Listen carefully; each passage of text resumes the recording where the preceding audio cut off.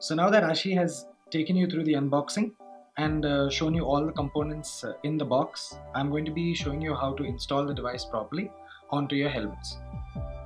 Step 1. Make sure you place the device on a flat surface and then you can take your helmet and place it over the device like this.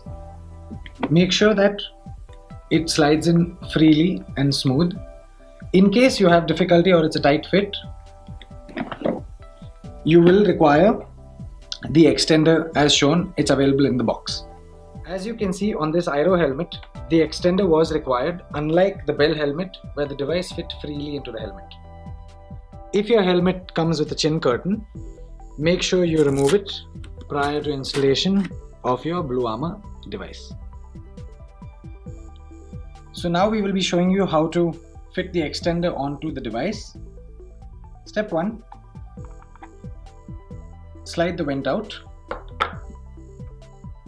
and the extender fits exactly where the vent first sat. Clip it in place, tight.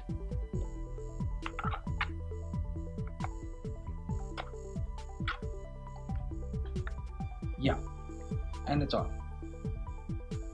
So now that you figure out whether you require the extender or not, let's go to the actual installation of the device on a helmet. Place the BluArmor device on a flat surface and slide the helmet over it.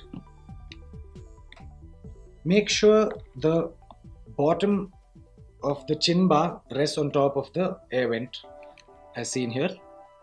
Also make sure that the device is aligned, centered at the helmet. Next, you'll see that there's a sticker here. Peel a little bit of the sticker, not the entire portion.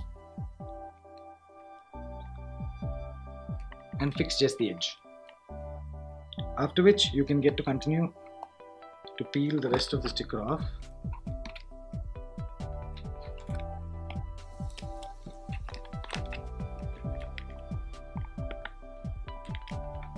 And your device is on. Ideally, for the best edition, we suggest you let it rest for 24 hours after fitting the device onto the helmet.